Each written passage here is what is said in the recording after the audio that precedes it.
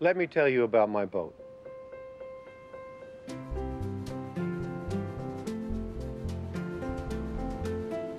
The Belafonte was a long-range sub-hunter during the Second World War, which we bought from the U.S. Navy for $900,000. This is my mentor, Lord Mandrake.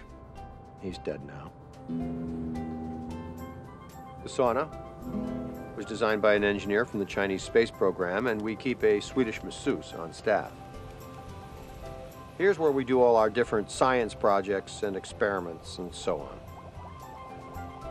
This is the kitchen, which contains probably some of the most technologically advanced equipment on the ship. Eleanor put together a top-notch research library for us with a complete first edition set of the Life Aquatic Companion series.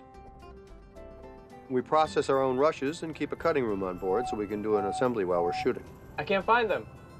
Where's a good piece?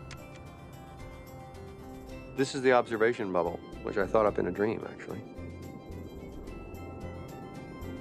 Two albino scouts swim with the ship. They're supposedly very intelligent, although I've never seen any evidence of it.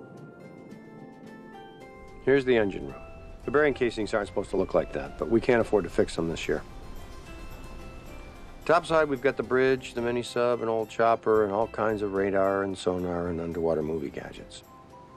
What happened to Jacqueline? She didn't really love me.